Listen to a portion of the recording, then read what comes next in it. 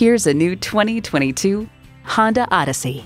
From a hood to hatch, it offers all the comforts and conveniences you could want.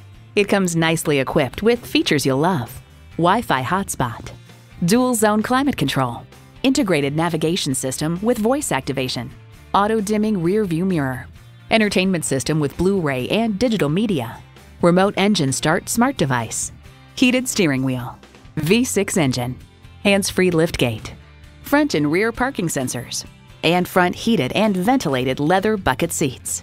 Every Honda is designed with the driver in mind. See what it can do for you when you take it for a test drive. Call, click, or stop in today. We're conveniently located at 330 Woodruff Road in Greenville, South Carolina.